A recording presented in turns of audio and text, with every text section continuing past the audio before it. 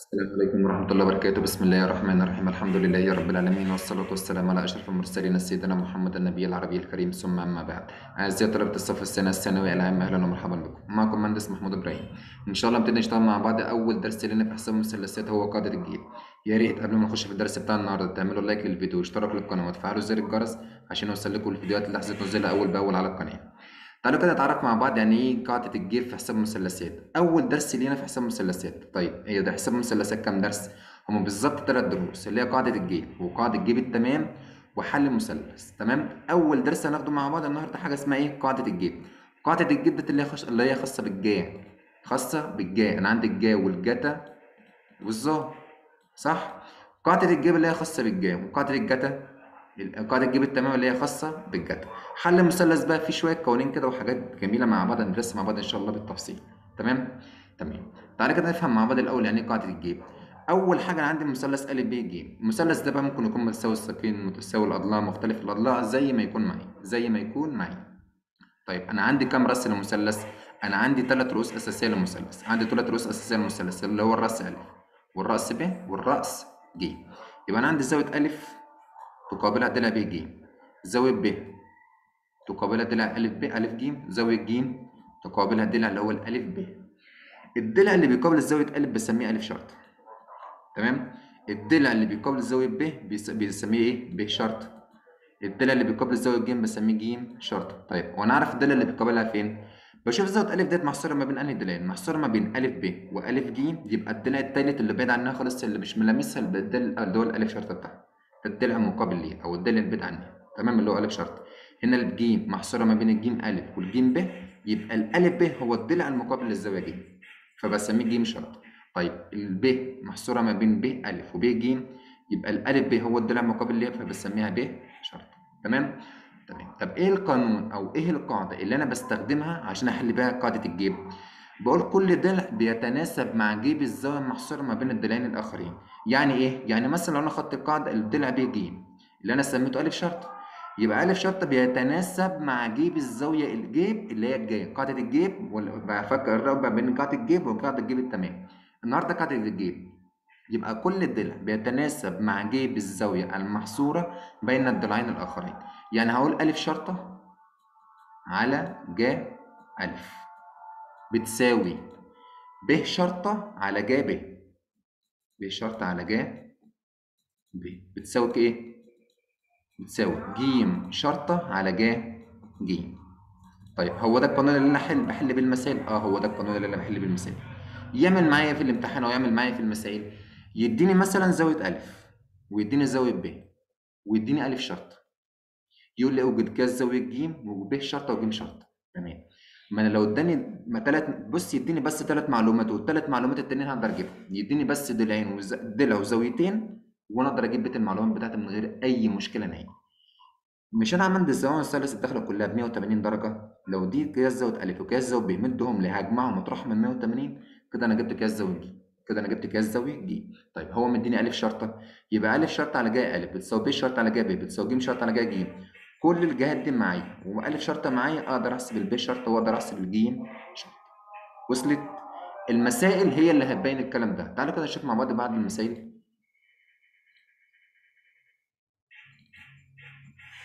اهوت ده الشرح اللي إحنا كنا بن- بنشرحه دلوقتي اللي هو مثلث ا ب ج الضلع مقابل للزاويه ا سميناها ا شرطة. الضلع مقابل للزاويه ب سميناها ب شرطة. الضلع مقابل للزاويه ج سميناها إيه؟ ج شرطة. يبقى ده القانون اللي إحنا استخدمناه. ا شرطة على ج ا بتساوي الب شرطه على ج ب بتساوي ج شرطه على ج تعالى كده بقى نشوف بعض المسائل كده ونحلها مع بعض. ده على فكرة ده كله إثبات ده كله إثبات الإثبات مش مطلوب منكم. آه في حاجة اسمها مساحة المثلث. يعني مثلث ا ب ج طبعا عرفنا ا شرطه وب شرطه وج شرطه عبارة عن إيه. لو طلب مني مساحة المثلث أ ب ج مساحة المثلث بتساوي إيه؟ بتساوي نص حاصل ضرب طولي ضلعين فيه في جيب الزاوية المحصورة ما بينهم، يعني إيه؟ يعني آخد أي ضلعين هقول نص. في طول الضلعين دولت. في حاصل ضرب طول الضلعين اللي هو مثلا ب شرطة ج شرطة. في جيب الزاوية المحصورة ما بينهم أنا هي الزاوية المحصورة ما بين الضلعين اللي أنا خدتهم اللي هي زاوية أ اللي هي زاوية أ طيب ممكن آخد أي زاويتين تانيين؟ أه. يعني ممكن أقول نص في أ ب. في أ ج في جا الزاوية ما بينهم اللي هي ج أ أ ب أنا مسميه إيه؟ ج شرطة في الألف ج أنا مسميه إيه؟ ب شرط في جاي ألف اللي هي الزاويه ما بينهم اللي هي أول واحدة أو اللي هي تاني واحدة اللي هي تاني واحدة. طيب ممكن آخدها تاني؟ ممكن آخد الضلعين دولت اللي هي ج شرطة ألف شرطة في جاي في جاي ما بينهم اللي هي ج ب. مضروبة طبعا مضروبة في نص ممكن آخد نص في الألف شرطة ب شرطة في الجاي الزاويه ما بينهم اللي هي ج ج. يبقى مساحة المثلث يطلب منك مساحة المثلث قول له نص حاصل ضرب طول ضلعين في جيب الزاوية المحصورة ما بينهم. في جيب الزاوية المحصورة ما بينهم. تعالى كده نشوف امثله مع بعض. مثال واحد بيقول لك إيه؟ في المثلث ا ب ج. إذا كان ا شرطة يساوي 10 قياس زاوية ا ب 30 قياس زاوية ب 45 هنا مش مديك أي رسمة للمثلث نهائي فالأفضل طبعا ليك إنك ترسم الرسمة بتاعتك. ده بيساعدك أنت كتير. ده بيساعدك أنت كتير ويوفر عليك يوفر عليك وقت ومجهود. أدي مثلث ا ب ج. تمام؟ أدي المثلث بتاعي أسميه ا ب ج. مديني إيه؟ قال لي ا شرطة اللي هو طول ب ج بكام؟ ب 10 سم. ا شرطة بتساوي 10 سم. تمام. مدينا قياس زاوية ا بكام؟ قياس زاوية ا ب 30 درجة. دي ب 30 درجة. قياس زاوية ب ب 45 دي ب 45 درجة. يبقى أجمع الزاويتين دولت وأطرحهم من 180 لأن الزوايا المثلث داخلة كلها كام؟ 180 خدت منهم هنا 30 وهنا 45 يتفضل لي كام؟ 105 يبقى أجمعهم وأطرحهم من 180 يبقى قياس زاوية ج بكام؟ ب 105 يبقى المثلث بتاعي منفرج الزاوية المثلث بتاعي منفرج الزاوية. مش هتفرق معايا في شكل الرسمة دلوقتي مش هتفرق معايا صدقني مش هتفرق معايا. يبقى دلوقتي دي ألف شرط تمام؟ ب شرطة اللي هي دي ج شرطة اللي هو طول الألف دي. طيب هو طالب منك إيه؟ قال لك أوجد ب شرطة وج شرطة وكذلك مساحة المثلث ا ب ج. يعني عايز منك طول ب شرط وعايز منك طول الج شرط وعايز منك مساحة المثلث ا ب ج. فنكتب القاعدة بتاعتنا ا شرطة على جاي ا بتساوي. ب شرطة على جاي ب بتساوي. ج شرطه على جاي ج. الألف شرط عندي بكام ب 10 يبقى أقول 10 يبقى أقول 10 على جاي 30 بتساوي. ب الشرطة اللي هو عايزها على جا خمسة وأربعين بتساوي. الجيم شرطة بتاعتي اللي هو عايزها برضو على جا كام؟ جا زاوية الجيم بكام؟ على جا مية وخمسة. طرفين في وسطين نطلع ب شرطة. ب شرطة هتساوي كام؟ عشرة. في جا خمسة وأربعين على جا تلاتين. طب الجيم شرطة هتساوي عشرة. في جا مية وخمسة على جا تلاتين. هتطلع البي شرط وهتطلع الجيم شرطة بنفس الصيغة ديت. البي شرطة هتطلع معاك ب 14 و1 والجيم شرطة ب 19 و3 طبعا أرقام عشرية تطلع معاك عادي بالأرقام عشرية. لازم تطلع معاك أرقام عشرية. تمام؟ طيب مساحة المثلث مساحة المثلث ا ب ج بتساوي نص حاصل ضرب طول ضلعين في جيب الزاوية المحصورة ما بينهم.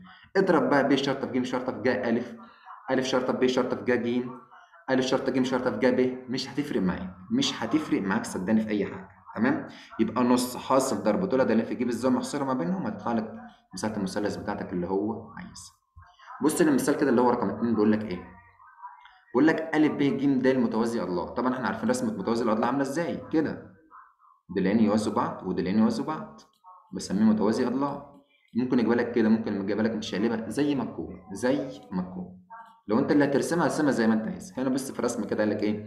ا ب ج د ماله متوازي أضلاع. على فكرة هو اللي رسمها يعني. كصيغه السؤال مش جاي من جاي من غير رسم.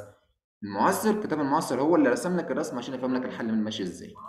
هو رسمها كده ممكن كنت ترسمها زي ما أنا رسمتها من شوية عادي برضو جدا ما فيش أي مشكلة نهائي يبقى ا ب ج د ماله متوازي اضلاع في ا ب بكام؟ ب 123 و4 القطران القطران بتاع متوازي الاضلاع اللي هم ا ج والب د يصنعان مع مضلع ا ب. بص القطرين بقى ده ا ج والب د يصنعان مع مضلع ا ب بزاوية مالها 15 و42 درجة و75 55 و17 درجة بالترتيب. تمام؟ أو جد بص هو طالب منك إيه بقى؟ عايز طول كل من القطرين الب د والألف ج عايز طول القطرين دول قطرهم قد إيه؟ وعايز منك مساحه متوازي الأضلاع. واحدة واحدة كده مع بعض. بص الزاويتين اللي هم ادوهم لك في أنهي مثلث؟ في المثلث ا م ب اللي هو المثلث ده كده. مش ده المثلث اللي هو مديلك فيه المعلومات؟ حلو قوي ديت قياس زاويه ب قياس زاويه ا وقياس زاويه ب. اطرحهم من أجمعهم واطرحهم من 180 أقدر أجيب قياس زاويه م في المثلث ا م ب. يبقى قياس زاويه ا م ب هتساوي كام؟ 180 ناقص. افتح قوس اللي هي 15 42 درجة زائد 55 و17 درجة يبقى قياس زاوية م د هي تطلع معانا بكام؟ ب 109 درجة و1 دقيقة 109 درجة وكام دقيقة؟ و1 دقيقة. تمام؟ تمام. أقدر أجيب دلوقتي الألف م وأقدر أجيب دلوقتي الميم ب. يبقى هقول الألف م على ج ب اللي هي جا كام؟ 55 درجة و17 دقيقة. بتساوي ما أنا عايز الألف م وهجيب برضو الميم ب. طب أنا هجيب الألف ميم والميم ب ليه؟ ما أنا عندي الألف ميم. بتساوي ميم ج فلما أجيب الألف ميم أضربها في اتنين كده أنا حسبت طول القطر الأولاني اللي هو الألف ج هو طالب مني طول القطر اللي هو ألف ج ولما أجيب الميم ب ما هي الميم ب بتساوي ميم د لما أجيب الميم ب هضربها في اتنين يبقى أنا كده جبت. طول القطر اللي هو ب د. كده جبت أول مطلوب هو طالبه مني فهمت أنا بعمل كده ليه يبقى هقول الألف ميم على ج 55 و17 درجة بتساوي الميم ب على ج 15 15 درجة و42 دقيقة بتساوي الألف ب اللي هو 123 وأربعة على ج م اللي أنا جبتها لها بكام؟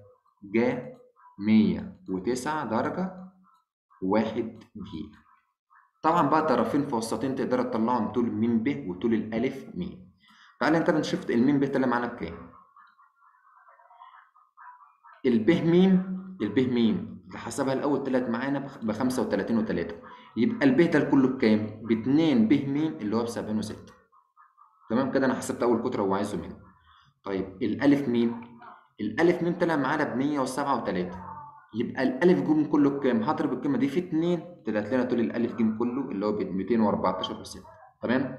تاني مطلوب مني طالب مساحه المثلث ا ب ج مساحه متوازي الأضلاع ا ب ج د طيب مش مساحة متوازي الأضلاع ده متقسم لأربع مساحات اللي هو مساحة المثلث ده ومساحة المثلث ده ومساحة المثلث ده ومساحة المثلث ده وطبعا لأن الكتل الضلع الضلع ده قد الضلع ده والضلع ده قد الضلع ده يبقى جميع المثلثات متساوية في المساحة جميع المثلثات متساوية في المساحة. فأنا هحسب مساحة المثلث أ م ب اللي أنا كنت شغال عليه وبعدين أضربها في أربعة. ليه هضربها في أربعة؟ لأن أنا عندي هنا أربع مثلثات. أدي واحد أدي اتنين أدي تلاتة أدي أربعة تمام؟ يبقى هحسب مساحة المثلث ده. هقول نص الميم ألف في الميم ب. في الجان ميم؟ ماشي. هقول نص نص حاصل ضرب أي ضلعين في الزاوية ما بينهم. هقول نص في الألف ميم في الألف ب. في الجا ألف برضو ماشي. نص في الب ألف في الب ميم في الجا ب برضو ماشي يبقى أنا معايا جميع الحالات معايا جميع الحالات. هنا في الم... في المسألة هنا هشتغل على إيه؟ اشتغل على نص. طبعا هو ضرب هنا في أربعة على طول هو هنا حلها مباشرة. قال لك أربعة في نص في. الب م في الميم ألف. يبقى نص م ب في الميم ألف في جا الزاوية ما بينهم اللي هي زاوية ألف م ب اللي إحنا طلعناها بكام؟ ب 109 واحد تمام؟ تمام. هتطلع لنا مساحة مساحة متوازي الأضلاع اللي هو أ ب ج ده معانا بكام؟ ب 7162 سنتيمتر مربع. ما تتخضش من الرقم.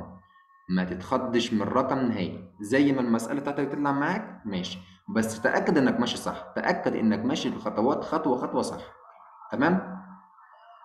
تعالى كده نشوف المثال اللي هو رقم أربعة ده. بيقول لك إذا كان محيط المثلث أ ب ج يساوي كام؟ 24 مديك مثلث محيطه محيط المثلث اللي هو مجموع أطلعه كام؟ 24 قياس زاوية ب ب 30 قياس زاوية ج ب 48 حلو. أقدر أجيب قياس زاوية ألف؟ أقدر أجيب قياس زاوية ألف من غير أي مشكلة خالص. مديني الزاويتين أجمعهم وأطرحهم من 180 يديني الزاوية الثالثه اللي هي النص عندي اللي هي زاوية ألف. يبقى أنا كده معايا جميع الزوايا معايا جميع الزوايا. طيب هو مش مديني ضلع واحد هو طالب مني ب شرطة. هو لا مديني الف شرطة ولا مديني الجيم شرطة عشان أقدر أجيب الب شرطة. في خاصية جميلة جدا لو تسمعوا أول مرة عنها قدامكم أهي. اسمها مجموع المقدمات. على مجموع التوالي بتساوي إحدى النسب. يعني إيه الكلام ده؟ أول حاجة هنكتب القانون بتاعنا عادي اللي هو ا شرط على ج ا بتساوي ب شرط على ج ب بتساوي ج شرط على ج ج ونعوض. كل الزوايا معايا بس معيش ولا ضلع. معيش ولا ضلع. في الحالة ديت لما يكون في المسألة بتاعتي معيش ولا ضلع لا ا شرطة ولا ب شرطة ولا ج شرطة بستخدم الخاصية ديت اللي هي مجموع المقدمات على مجموع التوالي بتساوي إحدى النسب يعني إيه؟ يعني هجمع البسط على مجموع المقام كله بيساوي إحدى النسب أي نسبة من طولت يا إما ا شرط على ج على ج ا يا إما ب شرط على ج ب يا إما ب ج شرط على ج ج. يبقى أقول الف شرطه زائد ب شرطه زائد ج شرطه على ج 102 زائد ج 30 زائد ج 48 بتساوي إحدى النسب. بص بقى هو هنا طالب منك إيه؟ ب شرطه يبقى ما بروحش آخد ألف شرطه على ج شرطه على ج ألف؟ لا. آخد ب شرطه على ج 30 اللي هي ج ب. تمام؟ طيب ألف شرطه زائد ب شرطه زائد ج شرطه مش ده محيط المثلث اللي هو ا ب ج اللي هو ب 24 محيط المثلث مجموع طول أضلاع. يبقى 24 على الكلام ده كله بتساوي ب شرط على ج 30 طرفين في وسطين تقدر تطلع الب شرط عندك من غير أي مشكلة. بعد ما تطلع الب شرطة عايز تطلع الألف شرطة؟ ماشي. عايز تطلع الجيم شرطة؟ برضو تقدر تطلعه. هتطلع بقى تعوض بالب شرط هنا وبعدين الطرفين في وسطين تطلع الألف شرطة. طرفين في وسطين تطلع الجيم شرط في أسهل من كده؟ تمام. في حاجة اسمها تمرين مشهور. التمرين المشهور ده عبارة عن إيه؟ لما يديك بقى دايرة بس يديك مع الدايرة نصف قطر خارجي. نصف القطر الخارجي بتاع الدايرة. برضه القانون بتاعنا ا شرط على ج ا بتساوي ب شرط على ج ب بتساوي ج شرط على ج ج بتساوي 2 نق نق ديت اللي هي طول نصف القطر الخارجي للدايرة. طول نصف القطر الخارجي للدايرة. قال لك هيبقى حيث حيث نق طول نصف قطر الدائره الخارجة لمثلث ا ب ج تمام؟ ده طبعا البرهان مالكش دعوة بالبرهان ولا الكلام ده كله. يعني أهم حاجة بس القوانين أهم حاجة القوانين وتحل بيها. قال لك في المثلث ا ب ج إذا كان ب شرطة بسبعة قياس زود ب ب 30 ج شرطة بتسعه واحدة واحدة كده مع بعض. نرسم المثلث الجميل بتاعنا الأول كده. نرسم مثلث عشان ما تطش. ارسم مثلث ليك دايما عشان ما تطش. تمام؟ وعوض بقى بالمعطيات اللي هو مديها لك. قال لك مثلث ا ب ج أدي ا ب ج ارسم أي مثلث زي ما أنت عايز. طالما ما حددلكش نوع إيه ارسمه زي ما أنت عايز. الب شرطة اللي هو طول الألف ج اللي هو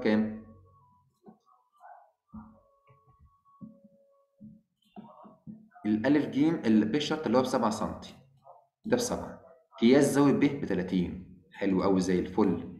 ج شرطة ب 9 سم تمام. احسب طول نصف قطر الدايرة الخارجة الدائره الخارجة لمثلث ا ب ج عايز منك طول نصف القطر اللي هو نق واحسب أيضا قياس زاوية ألف لاقرب درجة. واحدة واحدة كده مع بعض. أول حاجة القانون بتاعي إيه؟ بيقول إيه؟ ألف شرطة على ج ألف بتساوي. ب شرطة على ج ب بتساوي. ج شرطة على ج ج بتساوي كام؟ 2 نق اللي هو القانون اللي إحنا استخدمناه اللي هو التمرين مشهور 2 نق. طيب ألف شرطة عندي لا معايا ألف شرط دي ألف شرطة. لا معايا ألف شرطة ولا معايا قياس زاوية ألف. طب معيش قياس زاوية ج بحيث لما اجمع مطرح من 180 برضه يديني قياس زاوية ألف. فأنا هقول إيه؟ ألف شرط على ج ألف هسيبها زي ما هي شوية. هقول ب شرط على ج ب ب شرط على ج ب. مش ب شرط على ج ب بتساوي 2 نق أقدر أجيب الأول كده. ب شرطه بكام؟ ب 7 على ج ب اللي هي 30 بتساوي 2 نق يبقى هقسم 7 على 2 في ج 30 هتديني 7 يبقى طول النق اللي هو عايزها مني كام؟ أول مطلوب اللي هو طول نصف القطر جبته ب 7 سم جبته ب 7 سم طيب هو طالب مني قياس زاوية ألف. فطالما طالب مني قياس زاوية ألف يبقى لازم أنا أجيب معايا يكون معايا الألف الألف شرطه لازم يكون معايا الألف شرطه على الاقل تمام؟ أو مش. طيب أنا دلوقتي معيش الألف شرط ولا معايا قياس زاوية ج يبقى هجيب قياس زاوية ج الأول. طب هجيب قياس زاوية ج إزاي؟ ما أنا عندي ج شرط. يبقى هقول الب شرطه على ج ب الب شرطه معايا والج ب معايا. هتساوي ج شرطه معايا. على ج ج ده المجهول اللي عندي. طرفين.